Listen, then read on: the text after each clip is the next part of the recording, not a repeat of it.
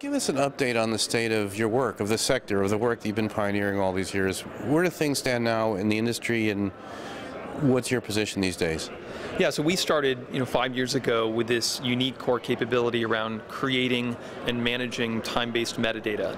And the bet, you know, five years ago was that the market would move towards a realization that this is the, the key to unlock the value of video content, whether it's for content discovery like SEO, content engagement like search, um, or content monetization, which is, you know, related content, contextual content, and, and ad targeting around video content.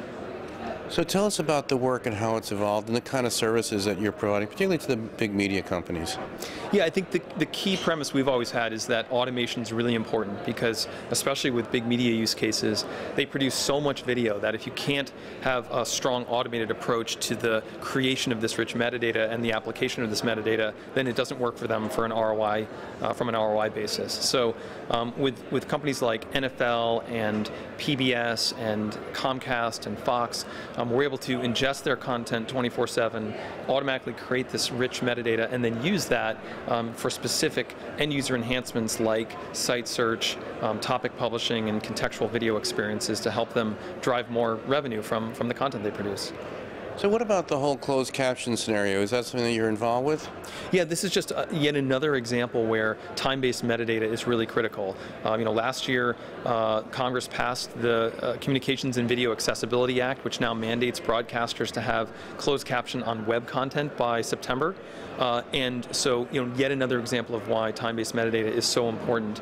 Um, and not only for, for sort of compliance, in this case, to a government regulation, but we know from our studies that the presence of, of transcripts and and tags drives 40 to 300% more uh, video engagement with uh, end users. You're automated, so how does that work in terms of the uh, authenticity or, or, the correct, you know, the veracity of the uh, of, of, of, the accuracy? Sure. So there's always uh, sort of a, a, dual approach here. If you're talking about high quality, you know, talking head studio content, then the automated approach will get you virtually all the way there. You know, you're talking 90% accurate. Um, if it is uh, less than sort of talking head studio quality, then we have a whole set of, of human enhancements to make sure that the metadata is highly accurate and, and useful to the end user. And what about um, users like advertisers or brands? Are they getting into the game and what's the value for them? Yeah, slowly and surely. I think the first use case um, is, is brand safety, right? So our ability to categorize videos into um, blacklist and whitelist categories for you know offensive content where maybe an advertiser doesn't want an ad shown is sort of the first use case. Um, but the ability for advertisers to target ads using metadata is, is next up. The way you know it's become a multi-billion dollar industry around text. Um, the same thing will happen with video um, as advertisers look for more targetability and, and better performance for their for their advertisements. Tell us about uh, the operation and, and, maybe where you might be going? Yeah, well, we had a huge milestone in Q4. It was our first cash flow positive uh, quarter, and as a young company, that's just a massive milestone uh, that you, you strive for and, and, and, sort of celebrate when you achieve. So, um, you know, it's really been a validation that the bet we took five years ago, you know, is paying off as the markets continue to, to move towards us.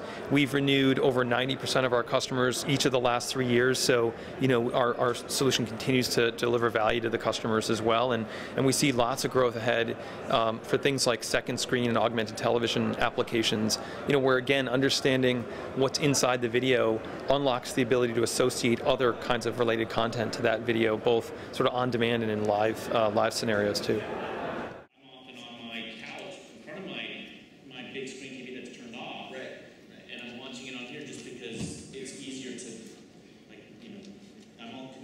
Netflix or exactly.